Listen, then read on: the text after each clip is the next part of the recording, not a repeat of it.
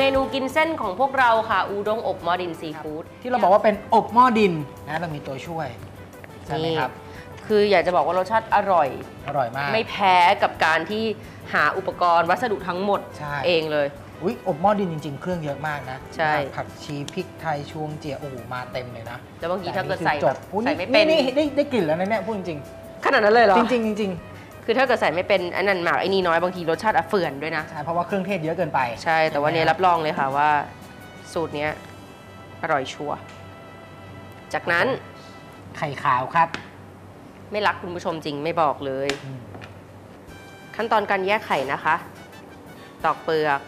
แล้วก็เอียงไข่ไปมาแบบนี้ เราก็จะได้แยกไข่ขาวและไข่แดง เคล็ดลับการแยกไข่ให้ง่าย ๆนะคะ ข้อที่ 1 ไข่ต้องสด ข้อที่ 2 เวลาแยกเนี่ยนะคะ ถ้าเกิดว่าเอาไข่ไก่แช่ตู้เย็นเนี่ย มันจะทำให้เวลาแยกไข่ขาวกับไข่แดงจะง่ายยิ่งขึ้นด้วยค่ะ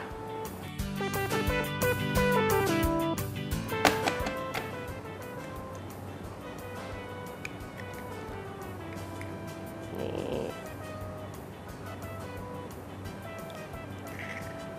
เราเลือกใช้แต่ไข่ขาวครับผมใส่ลงไป ใส่ลงไปเนาะอะ จากนั้นเทดดี้คนจากให้นั้นเข้าครักับนคุณผู้ชม อีกนิดนึงอีกนิดนึงได้ได้ได้ได้น้ำมันงานะอะไรที่เป็นเกี่ยวกับอาหารจีนนะ อาหารสไตล์โอเรนทัลอะขาดไม่ได้จริงส่วนผสมของเราเกาะกัน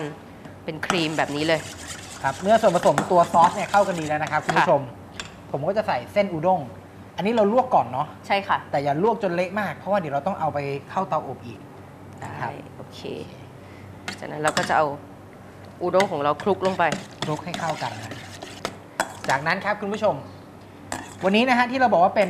อุด้งอบหม้อดินซีฟู้ดเรามีอะไรบ้างนะ เราก็จะมีปลาหมึกนะฮะ มีกุ้งแล้วก็มีหอยแมลงภู่นิวซีแลนด์นำทุกอย่างเนี่ยให้สุกก่อนนะครับ โอเคอะใส่ลงมาเลย โอเค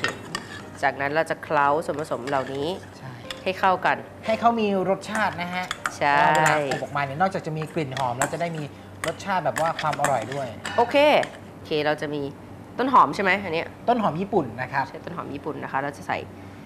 พอมันโดนความร้อนมันจะหอมมากเลยได้เอาแต่งหน้านิดนึงใช่ไหมใช่เก็บไว้หน่อยหนึ่งโอเคแล้วก็เห็ดหอมแช่น้ำเห็ดหอมแห้งแช่น้ำเห็นไหมว่าเห็ดหอมเราคุณภาพดีแค่ไหน เวลาดูเห็ดหอมว่าคุณภาพดี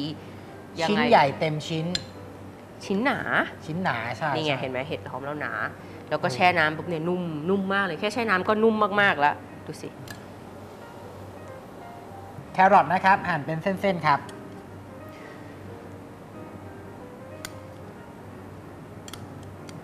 โอเค แล้วเราก็จะเอาครับผมเส้นลงก่อนนะ เส้นลงก่อนเนาะแล้วก็เหลือเนื้อสัตว์เอาไว้ข้างบน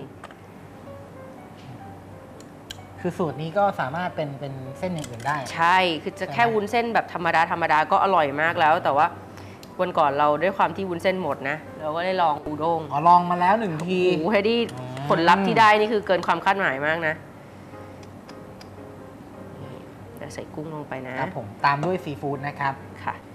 อุ๊ยยังมีกุ้งอีกเลยอะเทดดี้ใส่อีกนะใส่นะใส่นะใส่ใส่ใส่โอเคนะจัดเต็มเอาละครับ คุณผู้ชมจากนั้นนะครับ ก็จะถึงขั้นตอนสำคัญที่เรียกได้ว่าพริบตาเดียวเท่านั้นแหละก็จะเปลี่ยนโลกทั้งใบ แล้วก็จะปิดฝานะครับคุณผู้ชมแล้วก็จะนำเข้าเตาไมโครเวฟนะครับอ่า อ่า โอเคนะเทดดี้ครับผม เลือกโหมดไมโคเลืรอกเวโหมฟดไมโครเวฟนะครับ ความร้อน 900 วัตต์ นานประมาณ 5 นาทีเท่านั้นครับคุณผู้ชมโอเคอดใจรอสักครู่เดียวครับ 5 4 3 เทดดี้ไม่ต้องพูดกลิ่นก็ลอยออกมาอยู่แล้ว โอเคครับผม เรียบร้อย บางทีถ้าเจ๊หยิบเนี่ยแล้วเจ๊ใส่เลยมันอาจจะง่ายกว่านะไม่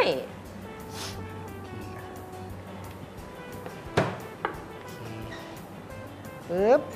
โอ้น่าทานจริงๆน่าทานจริง โอเคโอเค แล้วเราจะก่อนจัดเสิร์ฟเนี่ยนะเทดดี้เราก็ครับ จะมีผัก ๆ เป็นต้นหอมญี่ปุ่นใช่ นะครับซอยเป็นเส้น แบบนี้นี่นะเราก็จะวางข้างบนๆ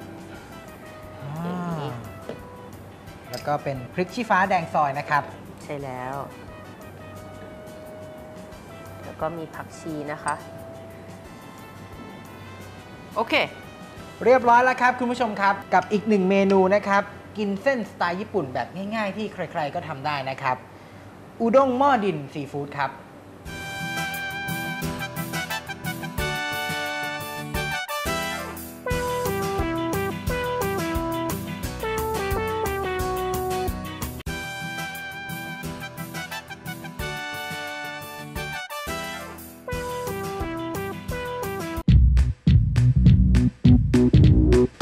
ประสบการณ์ที่มากกว่า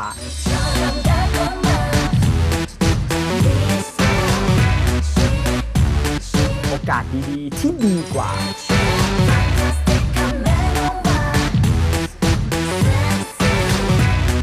เปิดแล้ววันนี้โรงเรียนธุรกิจการอาหารไทยและนานาชาติ รับสมัครนักศึกษาระดับ ปวช และหลักสูตรระยะสั้นเปียมั่นใจว่าจบจากทีฟ้า ปีจะเป็นเชฟที่ดีในอนาคตได้ค่ะ แล้วคุณจะสัมผัสได้กับคำว่า ยิ่งกว่าเกิดขึ้นกับคุณ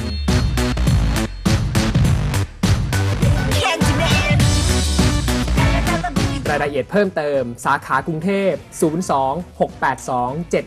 02-682-7644 สาขาเชียงใหม่ 053-412-378-9 และ w w w y i n g s a k f o o d c o m